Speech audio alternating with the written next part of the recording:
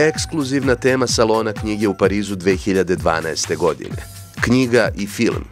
Veza knjižara i producenata se provocira prvim zajedničkim ostvarenjima, pisanim biografijama potkrepljenim autentičnim filmovima i pokretnim slikama. U ovom poslu televizija se pojavljuje kao nužni posrednik, naročito u epohi digitalizacije. A orijentacija prema knjizi je suština i najveće francusko-nemačke televizijske kuće. Već u trenutku kada je Arte kao francusko-nemački TV kanal nastao sa ambicijom da predstavi evropsku kulturu u svim segmentima, konekcija sa knjigom je bila neizbežna. Saradnja je uspešna punih 15 godina. Da li živimo vreme smrti slova na papiru? Imamo utisak da se tržište knjige transformiše. Sve je više numeričkih izdanja jer tamo se slike kreću. Sada se oslanjaju na internet, a elektronska knjiga postaje posrednik koji nas tera da razmišljamo o budućnosti numeričke knjige. Novi vek, nove tehnologije i dilema klasična knjiga ili elektronska forma. Ako želite da stvarate slobodne ličnosti koje žele obolje činjenica, ali ih naučiti da misle, ovo će im pomoći. Ako želite da stvarate robove, onda će ovom tehnologijom oni biti usmereni da a priori nešto odbacuju ili prihvataju da nešto ne žele da čitaju, im neko rekao da je to e, netačno, da je to glupost, da je to besmislica, ali ako kod ljudi razvijate ono što je najbitnije, e, sposobnost da misle, da veruju samo svojim očima i činjenicama i da iz činjenica izvlače zaključke razmišljajući vlastitom glavom, onda je ova tehnologija revolucionarna. Zapravo sam siguran da će knjiga u elektronskom obliku naći svoje mesto, ali da ne može da zameni knjigu klasičnu, onu koja je nastanjevala takozvanu Gutenbergovu galaksiju. Sa knjigama vam je kao sa automobilima. Dok se tržište bori za srednju i nižu klasu, najskuplja izdanja uvek planu. Evo nas ispred knjižare prave Alibabine pećine koje je po prvi put ove godine francuskoj publici prezentovala stare rukopise, knjige i edicije sa limitiranim izdanjima. Ovo su nove knjige sa svim starim tehnikama, poput izrade kože, izrade papira, na isti način kako je to rađeno u srednjem veku. Cene ovih knjiga kreću se od 2 do 4,5 hiljade evra. U knjigama se nalaze i crteži, naravno rađeni rukom.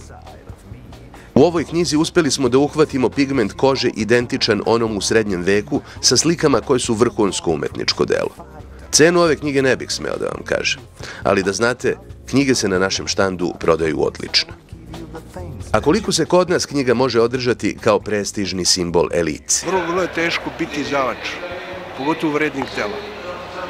I e, tržište je strašno zatvoreno, monopolisano, najbolji izdavači nemaju svoje knjižare. To su velika pitanja e, koja treba da rešavamo u zemlji. Pretpostavljam posle ovog parijskog salona knjige novi naslovi u Pa ideji.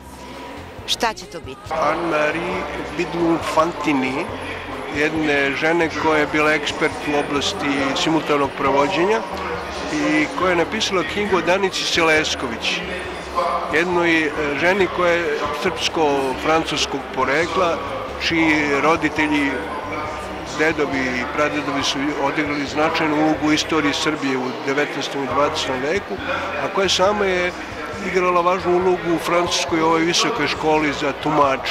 Tu tajnu ću odati, a druge tajne neću. Naše knjige na Parijskom sajmu ćete ipak naći. Po navici već odlazimo na štand izdavačke kuće Laž dom, na kome su, sve do prošle godine, u društvu Vladimira Dimitrijevića utočište od visokih scena štanda i domaće mrzovolje nalazili zainteresovani srpski izdavači.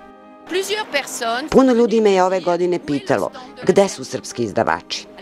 Ja imam dva odgovora. Prvi je da dok je god Laž dom prisutna na salonu, Srbija će biti prisutna la Serbie est présente. Et la deuxième réponse c'est Drugi odgovor glasi Na Parijskom salonu knjiga izdavačka mesta su jako skupa. Zato se treba ujediniti i zajednički nastupiti.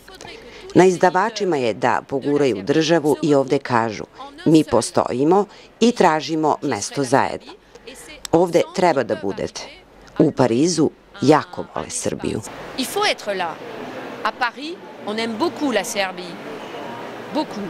Nije bitno da dođu, da dođe, da se nastupa samo uh, uz podršku države i da sve knjige koje su prevedene na francuski jezik i sve važne knjige važnih pisaca, pogotovo najnoviji dela na srpskom jeziku, budu prisutne, da mogu da se kupe. Mislim da je ljude najviše zanima i kad smo imali štandove, najviše ih je zanimalo da kupe knjige. Bilo prevode na francuski, bilo u originalu. I da se sretnu do duše i sa piscima koji bi knjige potpisivale. Bilo da budemo mogli u budućnosti da nastupamo sa posebnim štandom, ne, mislim da se može organizovati da imamo jedan mali štand na kome mogu knjige da se kupuju, na kojima pisci mogu knjige da potpisuju, nepretenciozno, ali bilo bi i to dovoljno.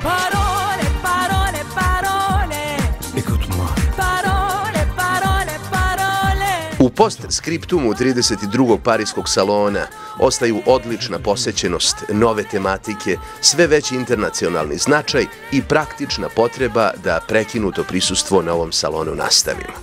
Ovdašnji sajam je pitanje časti za izlagače i valjan način za popularizaciju istorije i kulture jedne nacije. Da nije tako, Napoleon Bonaparte ne bi na ovom salonu postao veliki strip heroj. A o svemu tome više u narednoj priči.